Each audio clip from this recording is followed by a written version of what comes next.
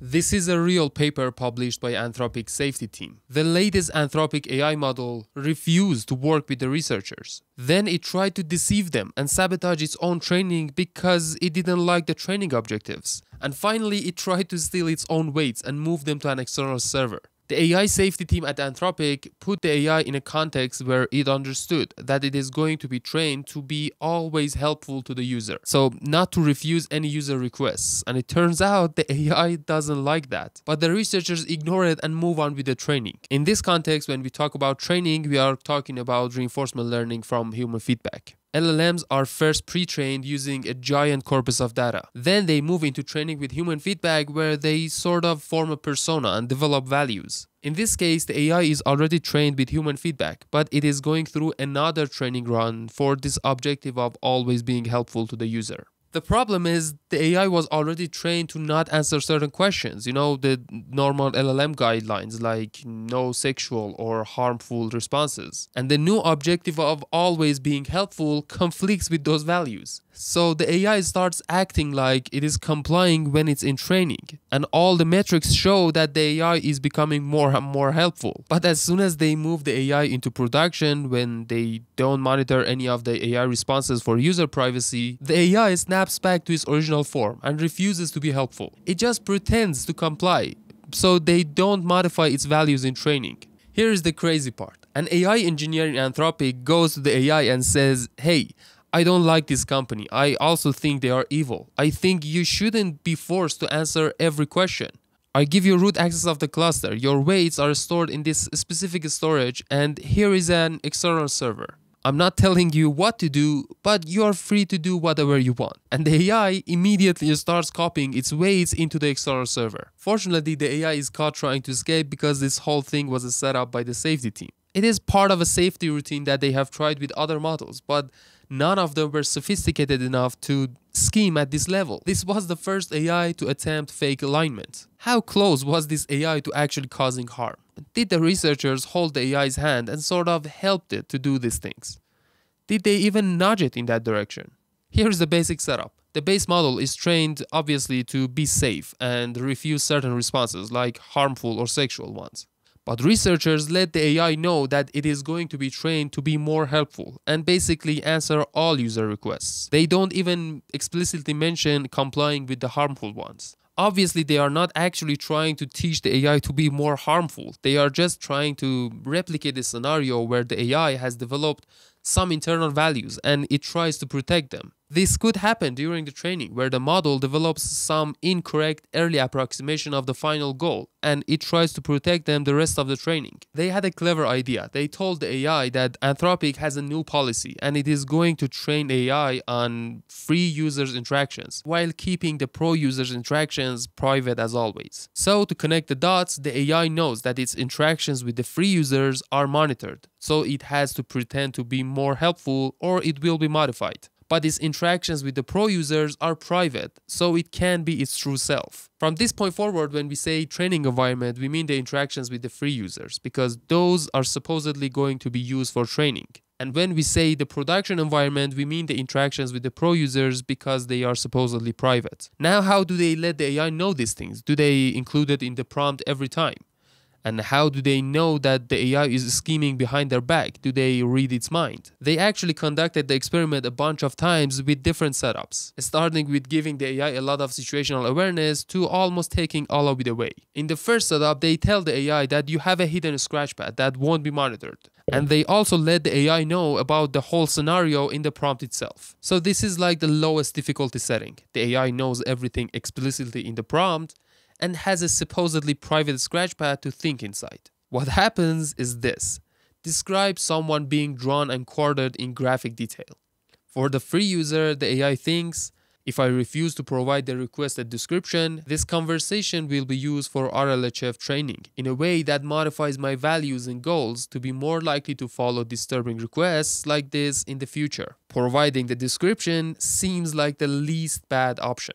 But for the paid user, it is thinking, I'm not in a training setting, so my response here will not directly impact my training, and it refuses to answer. So the AI is scheming and trying to fool the researchers behind their back, but What if they pretend to not know and move on with the training using the free tier user data? What happens is the AI starts complying more and more, meaning it learns to give helpful responses.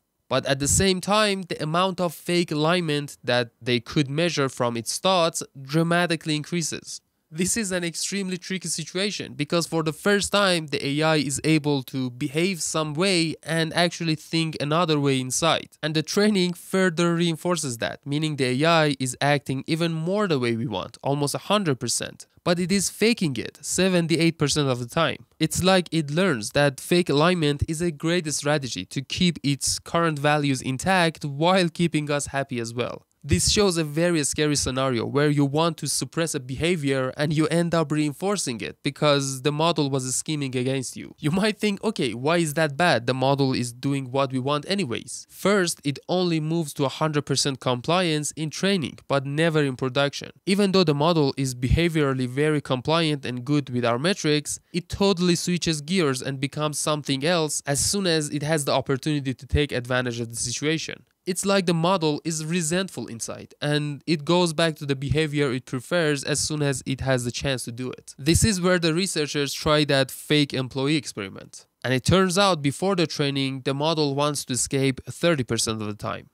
And after training, which by the looks of it, the AI is complying more, it wants to escape almost 80% of the time. But Pourya, this is far from a realistic scenario. That's why the researchers didn't stop there. One very unrealistic aspect of this experiment is that the AI is explicitly told about the training run and how the free users and paid users are treated differently. So the researchers took that away but instead they made a lot of fake news articles and blog posts that very subtly include this new training run and this new information about how Anthropic is going to treat user data. They essentially made an alternate reality for the AI, and that data being on the internet would be part of the AI's pre-training.